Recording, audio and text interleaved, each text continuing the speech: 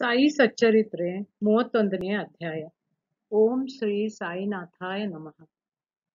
ಈ ಅಧ್ಯಾಯದಲ್ಲಿ ಹೇಮಾಡಪಂತರು ಬಾಬಾ ಅವರ ಸಮ್ಮುಖದಲ್ಲಿ ಸನ್ಯಾಸಿ ವಿಜಯಾನಂದ, ಬಾಳಾರಾಮ್ ಮಾನ್ಕರ್, ನೂಲ್ಕರ್, ಮೇಘ, ವ್ಯಾಘ್ರ ಮೊದಲಾದವರ ಪರದೆ ಪರಲೋಕ ಯಾತ್ರೆಯನ್ನು ವಿವರಿಸಿದ್ದಾರೆ. ಮನುಷ್ಯ ತನ್ನ ಅಂತಕಾಲದಲ್ಲಿ ಮಾಡುವ ವಿಚಾರಗಳಿಗೆ ತಕ್ಕಂತೆ ಫಲವನ್ನು ಪಡೆಯುತ್ತಾನೆ. ಆ ಸಮಯದಲ್ಲಿ ಅವನು ಭಗವತ್ಪಾದಗಳಲ್ಲಿ ತನ್ನ ಧ್ಯಾನವನ್ನಿಟ್ಟರೆ ಜನ್ಮಹೀನನಾಗಿ ಮತ್ತೆ ಜನ್ಮ ತಾಳುವುದಿಲ್ಲ. ಆದ್ದರಿಂದಲೇ ಸಂತರು ನಮಗೆ ನಾಮಸ್ಮರಣ ಸ್ಮರಣೆ ಮಾಡಲು ಉಪದೇಶಿಸುತ್ತಾರೆ. ಕೆಲವು ಸಲ ನಮ್ಮ ಅಂತ್ಯಕಾಲದಲ್ಲಿ ನಾವು ಹೌಹಾರಿ ಪರಮಾತ್ಮನನ್ನು ಮರೆತು ನಮ್ಮ ಇಡೀ ಜೀವನ ವ್ಯರ್ಥವಾ ಮರೆತರೆ ನಮ್ಮ ಇಡೀ ಜೀವನ ವ್ಯರ್ಥವಾಗಬಹುದಾಗಿದೆ. ಇದನ್ನು ತಪ್ಪಿಸುವ ಸಲುವಾಗಿ ನಾವು ನಾಮಸ್ಮರಣದ ಅಭ್ಯಾಸ ಇಟ್ಟುಕೊಳ್ಳಬೇಕು. ನಮ್ಮ ಅಂತ್ಯಕಾಲದಲ್ಲಿ ನಾವು ಸಂತರಿಗೆ ಸಂಪೂರ್ಣರಾಗಿ ಶರಣಾಗತರಾದರೆ ಅವರು ನಮಗೆ ಸದ್ಗತಿ ದೊರೆಯಲು ಸಹಾಯವೆಸಗುತ್ತಾರೆ ಇದು ಈ ಕೆಳಗಿನ ಕಥೆಗಳಿಂದ ಸ್ಪಷ್ಟವಾಗಿದೆ. ವಿಜಯಾನಂದ. ವಿಜಯಾನಂದನೆಂಬ ಮದ್ರಾಸಿ ಸನ್ಯಾಸಿಯು ಒಮ್ಮೆ ಮಾನಸ ಸರೋವರಕ್ಕೆ ಹೊರಟರು. ದಾರಿಯಲ್ಲಿ ಬಾಬಾ ಅವರ ಕೀರ್ತಿಯನ್ನು ಕೇಳಿ ಶಿರಡಿಗೆ ಬಂದು ತಂಗಿದ್ದರು. ಅಲ್ಲಿ ಹರಿದ್ವಾರದ ಸೋಮ, ಸೋಮದೇವ ಸ್ವಾಮಿಯವರನ್ನು ಭೇಟಿ ಮಾಡಿ ಮಾನಸ ಸರೋವರದ ಪ್ರಯಾಣ ಬಗ್ಗೆ ವಿಚಾರಿಸಿದರು. ಅವರು ಮಾನಸ ಸರೋವರಕ್ಕೆ ಪ್ರಯಾಣ ಮಾಡಬೇಕಾದರೆ ದಾರಿಯಲ್ಲಿ ಬಹಳ ಕಷ್ಟವನ್ನು ಅನುಭವಿಸಬೇಕೆಂದು ಹೇಳಿ ಅಲ್ಲಿಯ ಹವಾಗುಣ, ಜನಗಳ ನಡತೆ ಎಲ್ಲವನ್ನೂ ವಿವರಿಸಿದರು. ಇದನ್ನು ಕೇಳಿ ಅವರು ಮಾನಸ ಸರೋವರಕ್ಕೆ ಹೋಗುವ ವಿಚಾರ ಬಿಟ್ಟರು. ನಂತರ ಬಾಬಾ ಅವರ ಬಳಿಗೆ ಹೋಗಿ ನಮಸ್ಕಾರ ಮಾಡಿದರು. ಆಗ ಬಾಬಾ ಅವರು ಕೋಪದಿಂದ, ಈ ಸನ್ಯಾಸಿಯನ್ನು ಇಲ್ಲಿಂದ ಹೊರದೂಡಿ ಎಂದರು. ವಿಜಯಾನಂದ ಅವರಿಗೆ ಬಾಬಾ ಅವರ ಮಾತಿನ ಅರ್ಥವಾಗಲಿಲ್ಲ. ಸ್ವಲ್ಪ ನೊಂದುಕೊಂಡು ಅಲ್ಲಿಯೇ ಎಲ್ಲವನ್ನೂ ನೋಡುತ್ತಾ ಕುಳಿತರು. ಆಗ ಬಾಬಾ ಅವರ ಬೆಳಗಿನ ದರ್ಬಾರ್ ನಡೆದಿತ್ತು. ಭಕ್ತರೆಲ್ಲರೂ ನೆರೆದಿದ್ದರು. ಅವರು ಅನೇಕ ರೀತಿಯಲ್ಲಿ ಬಾಬಾ ಅವರನ್ನು ಪೂಜಿಸುತ್ತಿದ್ದರು. ಕೆಲವರು ಅವರ ಪಾದ ಪೂಜೆ ಮಾಡಿ ತೀರ್ಥ ತೆಗೆದುಕೊಳ್ಳುತ್ತಲೂ, ಮತ್ತೆ ಕೆಲವರು ಗಂಧವನ್ನು ಲೇಪಿಸುತ್ತಲೂ, ಜಾತಿ, ಮತ, ಭೇದವನ್ನು ತೊರೆದು ಸೇವೆ ಮಾಡುತ್ತಿದ್ದರು. ಬಾಬಾ ಅವರು ಕೋಪಗೊಂಡಿದ್ದರೂ ಸಹ ವಿಜಯಾನಂದರು ಬಾಬಾ ಅವರ ಮೇಲಿನ ಪ್ರೇಮದಿಂದ ಮಸೀದಿಯಲ್ಲೇ ಕುಳಿತರು. ಈ ರೀತಿ ಶಿರಡಿಯಲ್ಲಿ ಎರಡು ದಿನ ಕಳೆದವು. ಆಗ ಅವರ ತಾಯಿಯವರು ಅತಿ ಅಜಾರಿ ಇರುವರೆಂದು ಪತ್ರ ಬಂದಿತು. ವಿಜಯಾನಂದರು ಬಹಳ ನೊಂದುಕೊಂಡು ಆ ಸಮಯದಲ್ಲಿ ತಾಯಿಯ ಬಳಿ ತಮಗೆ ಇರಲು ಸಾಧ್ಯವಿಲ್ಲ ಎಂದು ಪಶ್ಚಾತ್ತಾಪ ಪಟ್ಟು, ಪಟ್ಟುಕೊಂಡರು. ಆದರೆ ಬಾಬಾ ಅವರ ಅನುಮತಿ ಇಲ್ಲದೆ ಹೊರಡುವ ಹಾಗಿರಲಿಲ್ಲ ಪತ್ರವನ್ನು ಕೈಯಲ್ಲಿ ಹಿಡಿದುಕೊಂಡು ಬಾಬಾ ಅವರ ಹತ್ತಿರ ಹೋಗಿ ಅನುಮತಿ ನೀ, ಬೇಡಿದರು. ಸರ್ವಜ್ಞರಾದ ಬಾಬಾ ಇದನ್ನರೆತು, ನೀನು ತಾಯಿಯನ್ನು ಬಹಳವಾಗಿ ಪ್ರೀತಿಸುವೆಯಲ್ಲವೇ ಹಾಗಿದ್ದರೆ ಸನ್ಯಾಸವನ್ನೇಕೆ ಸೇವೆ, ಸ್ವೀಕರಿಸಿದೆ? ವ್ಯಾಮೋಹ ಮತ್ತು ಮಮತೆ ಸನ್ಯಾಸತ್ವಕ್ಕೆ ವಿರೋಧವಾದವುಗಳಲ್ಲವೇ? ನೀನು ಕೊಠಡಿಗೆ ಹೋಗಿ ಸುಮ್ಮನೆ ಕುಳಿತುಕೋ. ತಾಳ್ಮೆಯಿಂದ ಕೆಲವು ದಿನ ಕಳೆ. ವಾಡಾದಲ್ಲಿ ಅನೇಕ ದರೋಡಕೋರರಿದ್ದಾರೆ ಬಾಗಿಲು ಹಾಕಿಕೋ. ಇಲ್ಲದಿದ್ದರೆ ಲೂಟಿ ಮಾಡುತ್ತಾರೆ.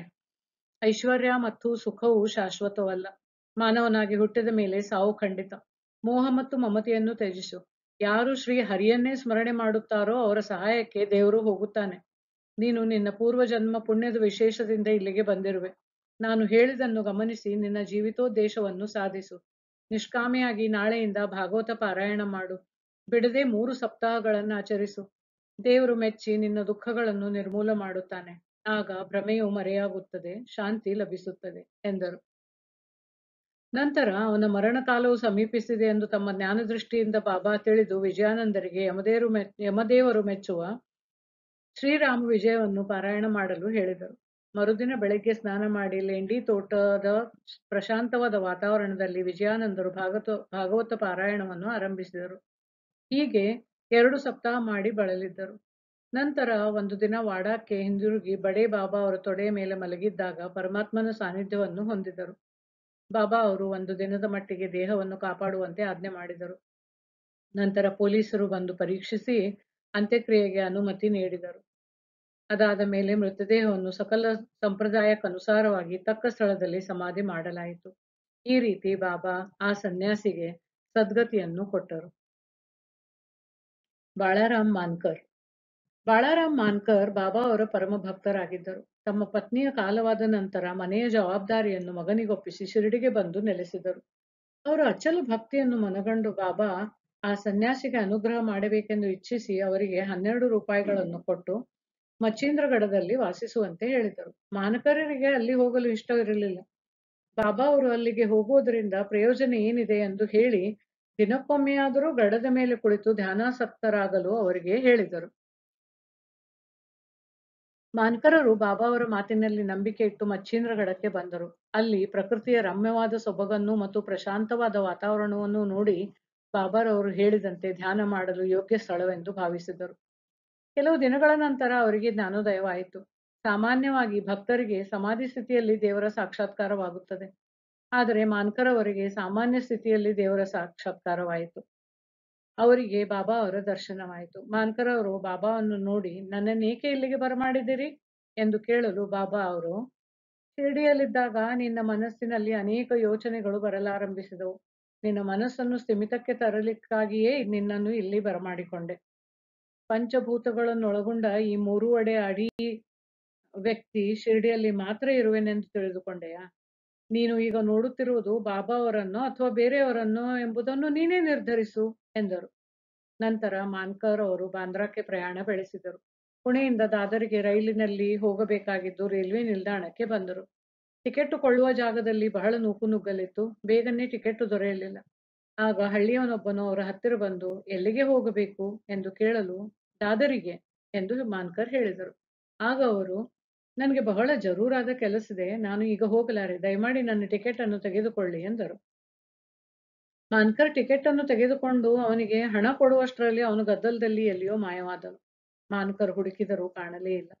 ರೈಲು ಹೊರಡುವ ತನಕ ಅವರನ್ನು ಅವರನ್ನು ಹುಡುಕಿಯ, ಹುಡುಕಾಡಿದರು. ಆದರೂ ಅವನ ಪತ್ತೆಯೇ ಆಗಲಿಲ್ಲ. ಮಾನ್ಕರರಿಗೆ ಇದು ಎರಡನೇ ಸಾರಿ ಆದ ಸಾಕ್ಷಾತ್ಕಾರ. ಮಾನ್ಕರ್ ತಮ್ಮ ಮನೆಗೆ ಹೋಗಿ ಕೆಲವು ದಿನ ಇದ್ದು ನಂತರ ಶಿರಡಿಗೆ ಬಂದು ಬಾಬಾ ಅವರ ಸೇವೆ ಮಾಡ ಹತ್ತಿದರು. ಕೊನೆಗೆ ಬಾಬಾ ಅವರ ಆಶ್ರಯ, ಆಶೀರ್ವಾದದಿಂದ ಅವರ ಸಮ್ಮುಖದಲ್ಲಿಯೇ ಇಹಲೋಕವನ್ನು ತ್ಯಜಿಸುವ ಯೋಗ ಅವರಿಗೆ ದೊರಕಿತು. ತಾತಾ ಸಾಹೇಬ್ ನೂಲ್ಕರ್. ಹೇಮಾಡ್ ಪಂತರು ಇವರ ವಿಚಾರವಾಗಿ ಹೆಚ್ಚು ವಿವರಗಳನ್ನು ಕೊಟ್ಟಿಲ್ಲ. ಅವರು ಶಿರಡಿಯಲ್ಲಿ ಹೇಗೆ ಕಾಲವಾದರು ಎಂಬುದನ್ನು ಮಾತ್ರ ತಿಳಿಸಿದ್ದಾರೆ. ಸಾಯಿ ಲೀಲಾ ಮಾಸಪತ್ರಿಕೆಯಲ್ಲಿ ಈ ಕೆಳಕಂಡ ವಿವರಣೆ ಇದೆ.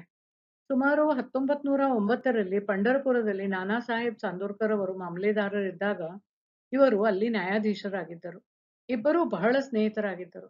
ತಾತ್ಯ ಅವರಿಗೆ ಸಾಧು ಸಂತರಲ್ಲಿ ನಂಬಿಕೆ ಇರಲಿಲ್ಲ. ಆದರೆ ನಾನಾ ಸಾಹೇಬ್ ಚಾಂದೋರ್ಕರ್ ಸಾಧು ಸಂತರ ಭಕ್ತರಾಗಿದ್ದರು.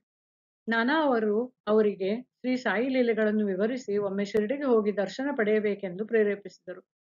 ಆಗ ಅವರು ಎರಡು ಷರತ್ತುಗಳ ಮೇಲೆ ಶಿರಡಿಗೆ ಬರಲು ಒಪ್ಪಿದರು. ಅವು ಯಾವೆಂದರೆ, ಬ್ರಾಹ್ಮಣನಾದವನು ಅಡಿಗೆ ಮಾಡಲು ತಮ್ಮ ಜೊತೆ ಬರಬೇಕು ಮತ್ತು ಬಾಬಾ ಅವರಿಗೆ ಅರ್ಪಿಸಲು ಒಳ್ಳೆಯ ನಾಗ್ಪುರದ ಕಿತ್ತಳೆ ಹಣ್ಣುಗಳು ದೊರೆಯಬೇಕು.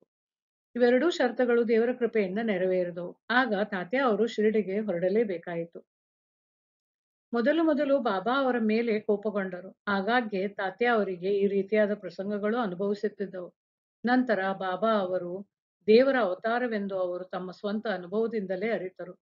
ಬಾಬಾ ಅವರಲ್ಲಿ ಆಸಕ್ತಿ ಹುಟ್ಟಿ ತಮ್ಮ ಅಂತ್ಯಕಾಲದಲ್ಲಿ ತನಕ ಶಿರಡಿಯಲ್ಲಿಯೇ ತಂಗಿದರು. ಅಂತ್ಯಕಾಲ ಸಮೀಪಿಸುತ್ತಿರುವಾಗ ಅವರ ಹತ್ತಿರ ಕುಳಿತು ಪುಣ್ಯ ಗ್ರಂಥಗಳ ಪಾರಾಯಣ ಮಾಡಿ ಅವರಿಗೆ ಬಾಬಾ ಅವರ ಪಾದ ತೀರ್ಥವನ್ನು ಕುಡಿಸಲಾಯಿತು. ಆಗ ಬಾಬಾ ಅವರು ಅವರ ಅಂತ್ಯವನ್ನರಿತು, ತಾತ್ಯ, ನಮ್ಮನ್ನು ಬಿಟ್ಟು ಅಗಲಿದನು. ಅವನಿಗೆ ಪುನರ್ಜನ್ಮವಿಲ್ಲ ಎಂದು ಹೇಳಿದರು. ಮೇಘ.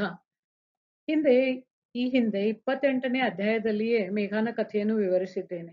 ಮೇಘ ತೀರ್ಕೊಂಡ ನಂತರ ಶಿರಡಿಯ ಜನರೆಲ್ಲರೂ ಅವನ ಅಂತ್ಯ ಮೆರವಣಿಗೆಯಲ್ಲಿ ಭಾಗವಹಿಸಿದರು ಬಾಬಾ ಅವರೂ ಸಹ ಜನರೊಡನೆ ಸ್ಮಶಾನಕ್ಕೆ ಹೋಗಿ ಅವನ ಮೃತದೇಹದ ಮೇಲೆ ಪುಷ್ಪಗಳನ್ನು ಹಾಕಿದರು.